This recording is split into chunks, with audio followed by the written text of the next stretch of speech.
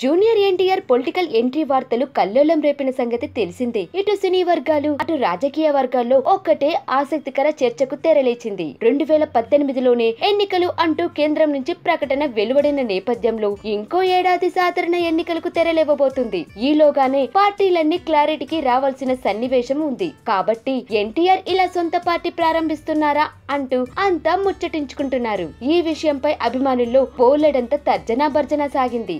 NTR Nav Bharat nation party పేరుతో రాజకీయ party పెట్టారంటూ proof కూడా చూపించడంతో అంతా కంగు తిన్నారు అవునా? నిజంగానా? ఎన్టీఆర్ సైలెంట్గా బరిలో దిగిపోతున్నారా అంటూ ఆరాలు మొదలయ్యాయి. ఒకవేళ ఇదే నిజమైతే ఏపీ రాజకీయాల్లో కొత్త శకం మొదలైనట్టేనంటూ విశ్లేషించారు. అయితే ఎన్టీఆర్ సైలెన్స్గా బ్రేక్ చేస్తూ అయితే ఎన్టీఆర్ ఈ సైలెన్స్ని బ్రేక్ చేస్తూ గాలి వార్తల్ని నమ్మొద్దని ఫ్యాన్స్కి చెప్పాడు. ఒకవేళ వస్తే ముందు మీకే చెబుతానని అన్నాడు. మంచి పనులు చేయటానికి రాజకీయాలు సినిమాల్లోకే రానవసరం లేదని తారక్ అన్నాడు. ప్రస్తుతం దృష్టంతా సినిమాలపైనే ఉంది. భవిష్యత్తులో రాజకీయాల్లోకి వస్తే తప్పకుండా అభిమానులతో చర్చించి నిర్ణయం తీసుకుంటానని చెప్పాడు. రాజకీయాల్లోకి వచ్చే ఉద్దేశమే ఉంటే బహిరంగంగా ప్రకటిస్తానే కానీ రాత్రికి రాత్రే ప్రకటన చేసే అవసరం నాకు లేదని చెప్పాడు. మొత్తానికి ఫ్యాన్స్ మనసు ఎప్పటికీ కుదుటపడింది.